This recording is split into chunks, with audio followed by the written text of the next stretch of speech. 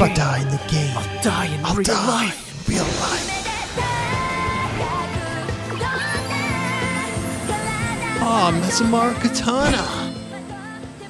World, a single blade can take you anywhere you want to go. It sounds sharp. It's gonna do some damage.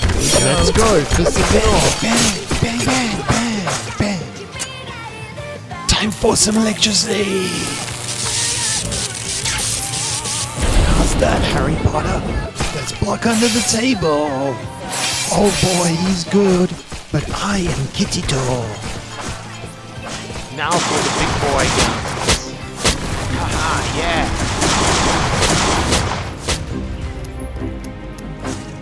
The Walking Dead. What? No ammo? Still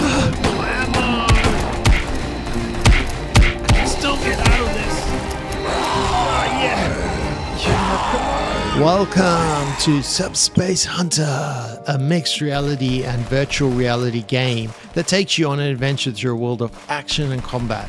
In this game, players can wield swords, cast spells, and unleash hellfire to fight against the invasion of subspace monsters into the real world. The game is developed by indie developer Xuking, and you might have guessed it is partly inspired by the anime series Sword Art Online.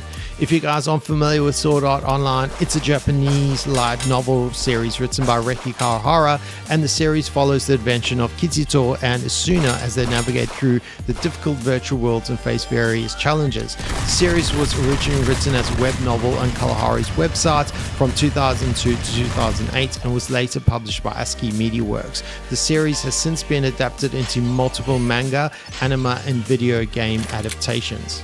This demo version of the game is available for early access on the and provides a certain number of swords, magic, guns, and dozens of featured enemy dual combats, as well as annihilation battle survival mode of a game experience, which is one of my favorites. This version does not represent the tracking quality of the game, and multiplayer online games and offline real time land battles will be added in the official version. The game requires a fairly large playing area, but it's completely doable as you can see here.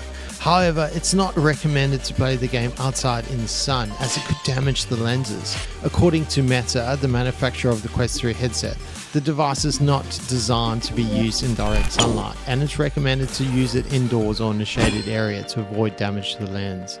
I actually tried playing the game outside at night and the Quest 3 did a great job of this as shown by this video. I was able to set up the Guardian with a little bit of effort and was able to map my Guardian perfectly. It gave me a completely different experience of playing mixed reality and it's completely doable. You just need a little bit of light from maybe an outside or light or street light as well. Just be aware that some people may be a little bit amused like your neighbors by your shenanigans. But anyway, back to the game. The full version of the game, which is scheduled to be launched in six to eight months depending on funding, will include a heap more features. It'll include multiplayer mayhem where you can team up or challenge friends in online and land battles, both in MR and VR.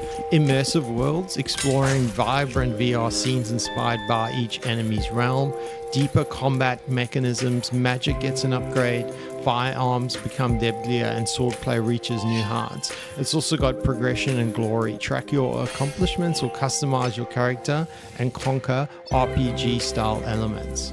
The game is perfect for anyone who loves action and adventure games and wants to experience the thrill of mixed reality and virtual reality. So, what are you waiting for? Join the Subspace Hunter community and become part of the legend.